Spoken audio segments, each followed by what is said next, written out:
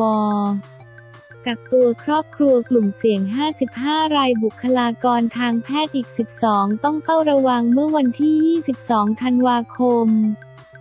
2564ในสยามสิริมงคลผู้ว่าราชการอุดรธานีพร้อมด้วยนายอุเทนหาแก้วรองนายแพทย์สาธารณสุขเขต อุดรธานี แถลงสถานการณ์โควิดประจำสัปดาห์ในพื้นที่จอ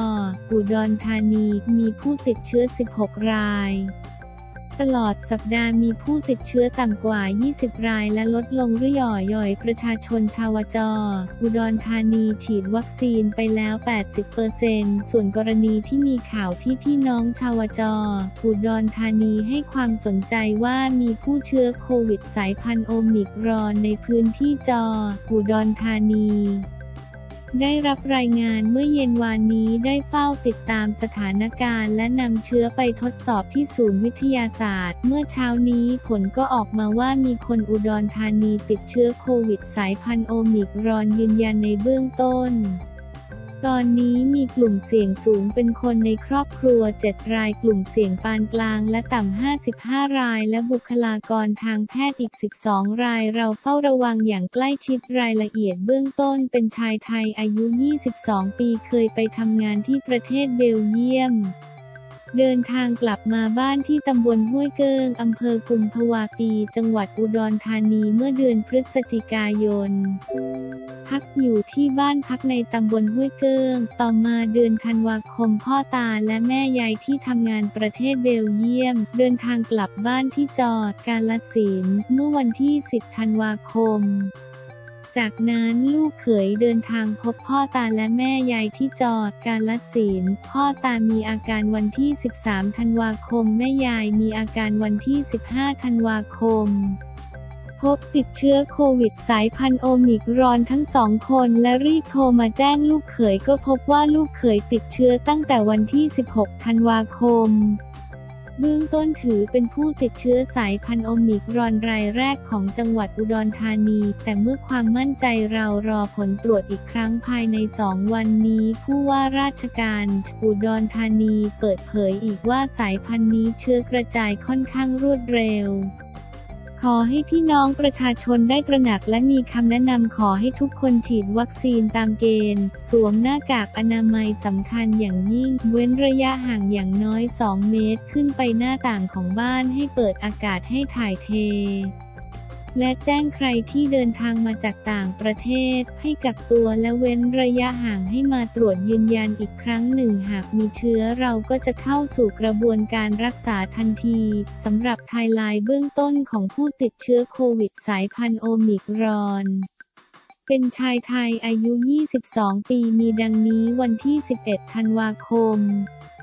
10 นาฬิกาไปวัดนนสว่างที่น้องวัวซอร่วมกับภรรยาและบุตร HRC 2 คน 14 นาฬิกากลับบ้านที่หนองหานร่วมกับภรรยาและบุตร 18 นาฬิกา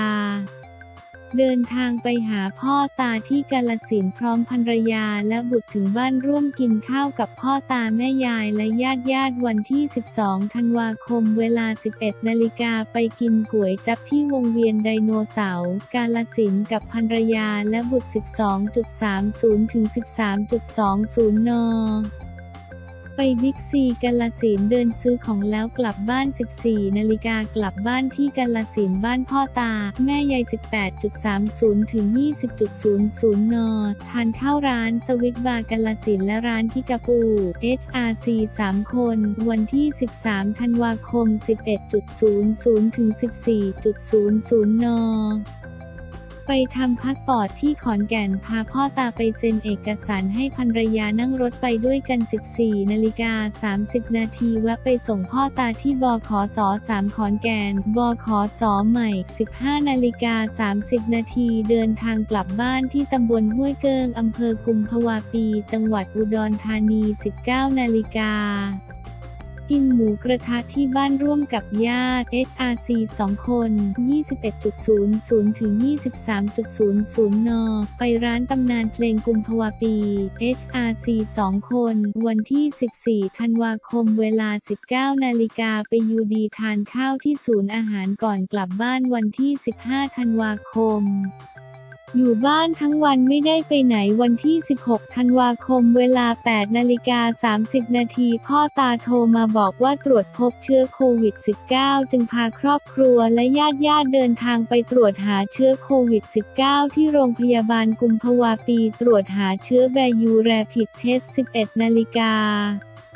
ได้รับแจ้งผลตรวจแรผิดเทสผลบวกเวลา 20 นาฬิการถโรงพยาบาลกุมภวาปีออกรับเข้ารักษาที่กอฮอดวอร์ดโรงพยาบาลกุมภวาปีหลังแพทย์แจ้งผลตรวจยืนยันว่าตรวจพบเชื้อโควิด -19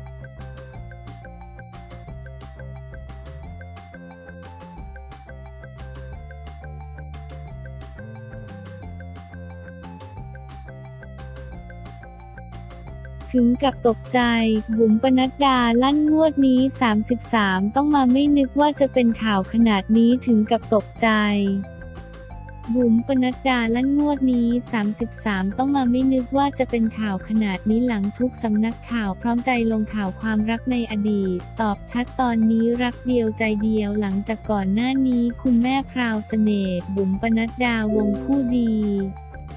ออกมาเปิดใจถึงเรื่องราวความรักในอดีตกลางรายการ แซะว่าเคยคบซ้อน 33 คน แต่ถ้าไม่คอควายบอใบไม้ 100 กว่าคนโดยสมัยก่อนมันไม่ได้โทรศัพท์สื่อสารอะไรได้เยอะขนาดนี้ และไม่ได้คุยทุกวัน ซึ่งบางคนก็อยู่ต่างจังหวัด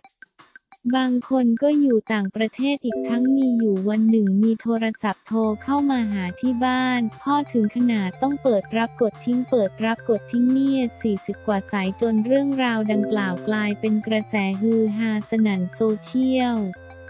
รวมถึงสื่อทุกสำนักพร้อมใจกันเขียนข่าวความฮอตของคุณแม่บุ๋มล่าสุดคุณแม่พราวเสน่ห์บุ๋มปนัดดาวงศ์ผู้ดีแคปหน้าข่าวของสื่อต่างๆ ที่เขียนข่าวเรื่องราวความรักในอดีต พร้อมข้อความว่างวดนี้ 33 ต้องมานะคะ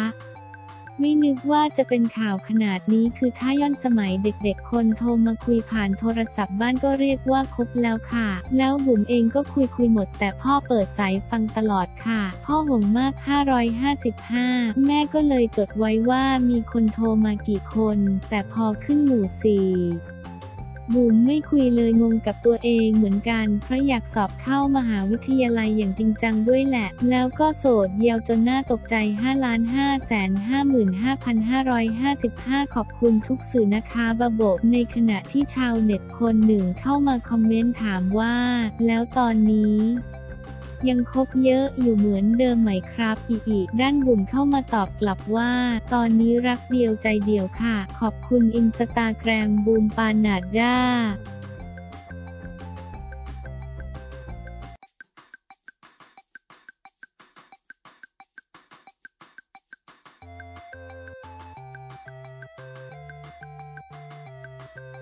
ช็อกนางเอกดังรุ่นใหญ่ขอเลิกสาวหล่อสุดท้ายเสียชีวิตเปิดเจอคลิปหลักฐานสุดช็อกเรื่องไม่คาดฝันช็อกนางเอกดังรุ่นใหญ่ขอเลิกสาวหล่อสุดท้ายเสียชีวิตเปิดเจอหลักฐานเป็นคลิปสลิปโอนเงินแอนนา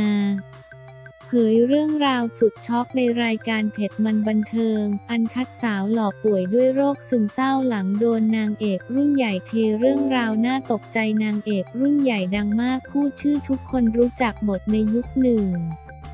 คบสาวหล่อคนหนึ่งเป็นแฟนและยังคบสาวหล่ออีกคนหนึ่งด้วย สาวหล่อที่เป็นกิ๊กเคยมีข่าวระหองระแหงกันนางเอกดังเคยไปพูดว่าต่อให้สาวหล่อที่เป็นกิ๊กไปพูดก็ไม่มีใครเชื่อ เพราะภาพลักษณ์ของฉันในวงการมันดีเหลือเกิน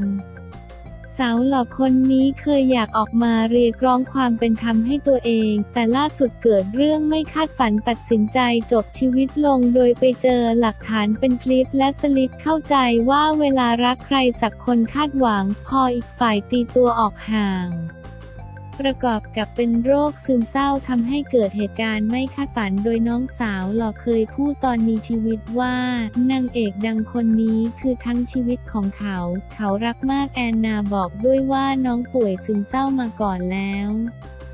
พอมาเจอนางเอกดังก็ช่วยให้ชีวิตมีความสุขน้องสาวหล่อทุ่มเทเงินในบัญชีหลายแสนเขาก็ให้ เขารักเขาก็ให้สุดท้ายไม่ใช่เขาก็ไปต่อไม่ได้ แอนนาเผยด้วยว่าตัวเองก็เคยเป็นโรคซึมเศร้า อยากฝากเตือนคนที่ซึมเศร้า